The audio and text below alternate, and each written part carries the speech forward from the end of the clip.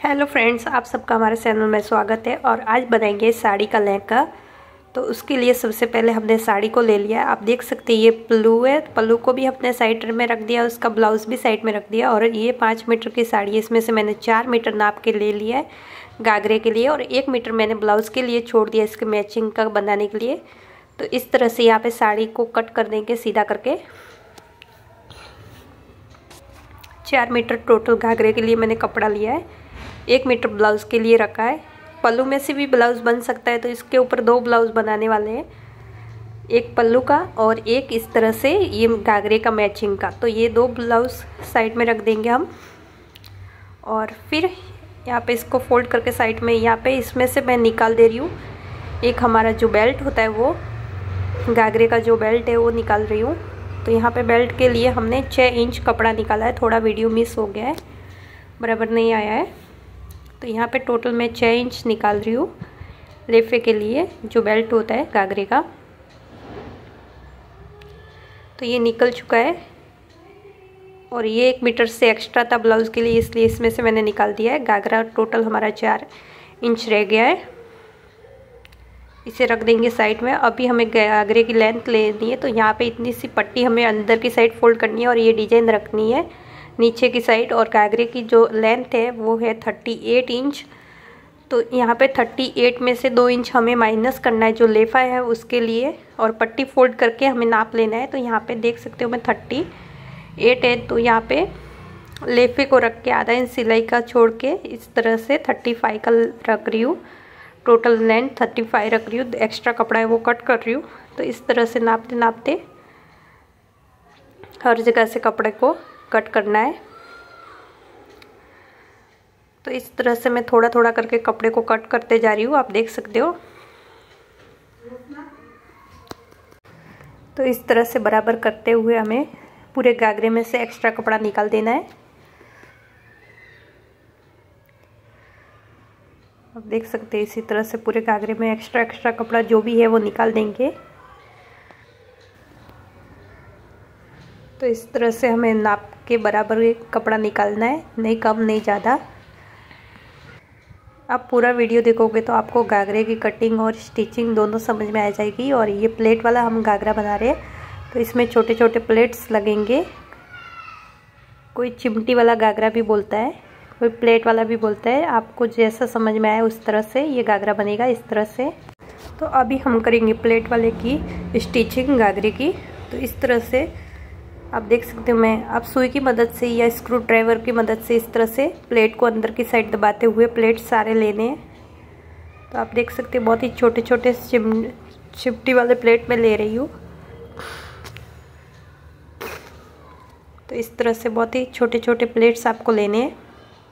Plate आपके according भी आप ले सकते हो, आपको जितने मोटे पसंद है तो मोटे भी, लेकिन छोटे वाले, चिमट वाले प्लेट इसी तरह से छोटे छोटे लेने आपको। ये लगभग आधा इंच से भी कम है। आधा इंच जितने प्लेट है। आपके मेजर टेप से लोगे तो आपको आधा जितना लेना है। ये सारे मेजर टेप से नाप के नहीं बनाते। अंदाज से बनाते। एक जैसे सारे प्लेट लेने होते तो इस तरह से आप देख सकते हो मैं स्क्रू ड्राइवर की मदद से सारे प्लेटों को एक बराबर ले रही हूँ। इसी तरह से।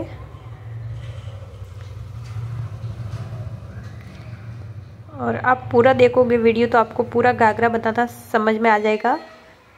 और इसी तरह से सारे घाघरे बनते हैं। इसमें आप कम ज़्यादा प्लेट डाल सकते हो, मोटे पतले जो भी आपको पसंद है, उस तरह से प्लेट बना सकते हो।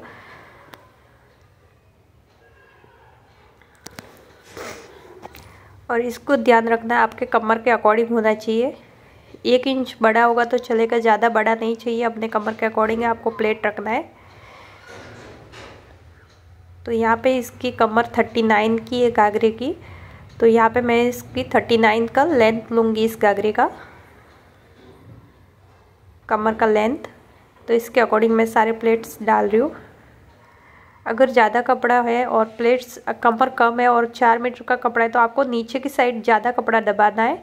अगर कमर ज़्यादा है तो आपको थोड़ा थोड़ा जैसे मैं देख रही हूँ, आप, मैं थोड़ा थोड़ा दबा रही हूँ, उसी तरह से आपको थोड़ा थोड़ा दबाना है। ऊपर प्लेट का लेवल बराबर होना चाहिए। नीचे एक्स्ट्रा कम कर सकते हैं हम। प्लेटों को दबाते हुए, कपड़े को नीचे एक्स्ट्रा दबा सकते हैं।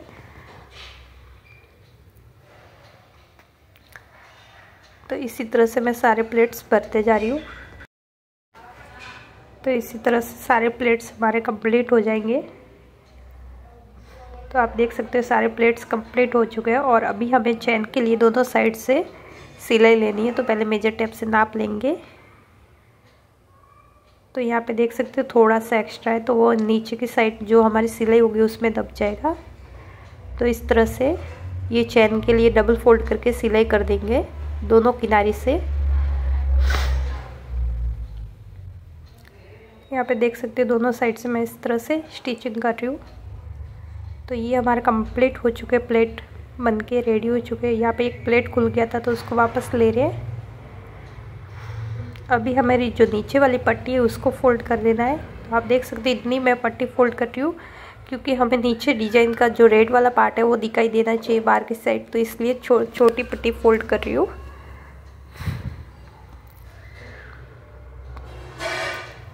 तो यहाँ पे देख सकते हो साड़ी का ये लहंगा बनने के लिए रेडी हो रहा है।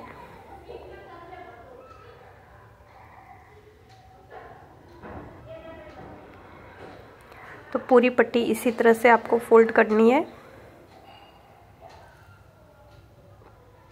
पट्टी एक बराबर ही फोल्ड करनी होती है, कम ज़्यादा नहीं करनी है।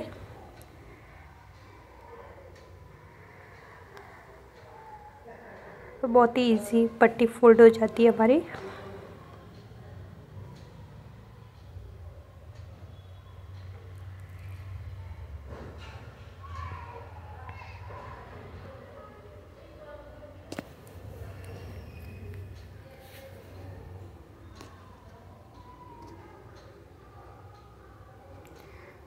तो यहाँ पे देख सकते हो इस तरह से मैं सारी पट्टी को फोल्ड करते जा रही हूँ। पूरे चार मीटर में इसी तरह से पट्टी को फोल्ड करना होता है। तो बहुत ही इजी तरीका है। यहाँ पे छोटा सा प्लेट मैंने लगाया है, क्योंकि गूंज आ रही थी इसलिए। और ये हमारे प्लेट्स पट्टी फोल्ड होके रेडी हो चुकी है। और अभी हमें ऊपर की लेंथ लेनी है। तो तो अभी हमें लगाना है गागरे में बेल्ट तो उसके लिए पहले आधा इंच जितना पहले फोल्ड कर देंगे एक साइड से। ये चेंज का बेल्ट है। तो हमने जो कटिंग किया था, वो बेल्ट नहीं लगा रहे हैं। जो गागरे के ऊपर की साइड साइड में से जो निकला था बेल्ट वही निकाल रहे हैं, लगा रहे हैं। तो इस तरह से कपड़ा निकला था, उसमें से बेल्ट बनाया है। और इस तरह से एक साइड से चैन के लिए हमें सिलाई कर देनी है। और फिर गागरे को भी हमें उल्टा ही रखना है और बेल्ट को भी, जो लेफा है, उसको भी उल्टा ही रखना है। उल्टा रखने के बाद इस तरह से सारे प्लेटों को ठीक करते हुए इसके ऊपर बेल्ट को रखना है और नीचे कोई प्लेट आ गई है इसके अंदर तो उसको निकाल देंगे इस तरह से और अच्छे से इसको, इसके ऊपर बेल्ट को रखते हुए स्टिच करना है उल्टी साइड से ही। आप देख सकते हो ये बेल्ट मैंने इसलिए चेंज किया क्योंकि इसकी बॉर्डर जो है वो एक बराबर है, एकदम परफेक्ट बॉर्डर है नीचे की साइड जैसी। इसलिए मैंने इसको चेंज करके ये वाला बेल्ट लिया है, जो कटिंग किया था उसे हमने साइड में रख दिया है। तो इस तरह से इसको कट कर देंगे और फिर यहाँ पे इस तरह से चैन की साइड बराबर इसे डबल फोल्ड कर देंगे आधा इंच जितना और फिर अंदर की साइड दबा देंगे। तो यहाँ पे देख सकते हैं ये एक इंच है एक्स्ट्रा है तो वो मैं अंदर ही रख रही हूँ। और फिर हमें इसको सीधा कर देना है और सीधा करने के बाद इस तरह से स्टिचिंग करनी है इसकी। तो देख सकते हैं, ये वाला बेल्ट लगाने से इस घाघरे का लुक और भी अच्छा आ रहा है। नीचे की बॉर्डर से मैच हो रहा है। और फिर आपको जो अंदर की सिलाई वो बाहर नहीं दिखनी चाहिए। उसके ऊपर रखते हुए आपको ये बेल्ट की सिलाई करनी है, जो लेफा है, उसकी सिलाई करनी है। प्लेटों को आपको एकदम बराबर रखना है। प्लेट कहीं नीचे ना आ जाए। एकदम सीधे करते हुए प्लेटों को आपको इसके ऊपर स्टिच करना है। और अंदर वाला धागा भी बाहर नहीं दिखना चाहिए। तो इस तरह से ये लेफा लगाना है। इस तरह से लेफा लगाने से क्या होता है, आपका जो भी घाघरे में जो गूंज होती है, वो नहीं आती है बिल्कुल। घाघरे का जो लेफा है, उसमें बिल्कुल गूंज नहीं आती, एकदम परफेक्ट बन के रेडी हो जाएगा। आप देख सकते हो इस तरह से।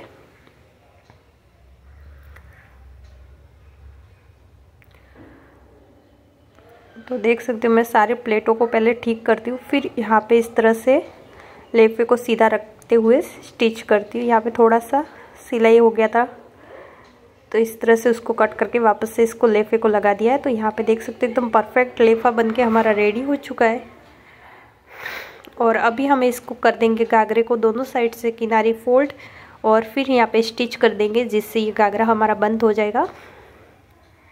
तो दोनों साइड से इस तरह से हमें अंदर की साइड दो बार फोल्ड करना है। फिर जो धागे हैं, अंदर की साइड चले जाएँगे। इस तरह से चैन तक हमें सिलाई करनी है। तो इस तरह से चैन के लिए मैं यहाँ पे तीन इंच रखूँगी और फिर यहाँ तक मैंने सिलाई की है। फिर इसको हम तो यहाँ पे देख सकते हैं गागरे का कुछ इस तरह से लुक आ रहा है, प्लेट वाले गागरे का। और इसका घेर भी आप देख सकते हो। और पहनने के बाद कुछ इस तरह से आएगा। इसी तरह से आपको साड़ी के या कोई भी लहंगे सीखते हैं तो हमारे वीडियो को सब्सक्राइब करना ना भूलें। और इसी तरह से तरह तरह के लहंगे सीख सकते हो, प्लेट वाले, अम्ब्रेला कलिकट, राजपूती, कोई भी लहंगा आपको हमारे चैनल पे सीखने को मिल जाएगा। तो इस तरह से ये हमारा वीडियो कंप्लीट हो चुका है, घाघरा बनके